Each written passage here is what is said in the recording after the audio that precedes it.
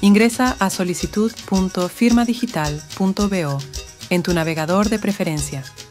Ingresa con tu usuario y contraseña. Ingresa al detalle de la solicitud y presiona la opción Revocación.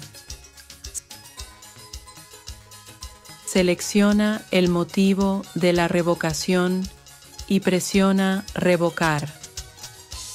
Espera un momento y verás el estado de tu solicitud como revocado.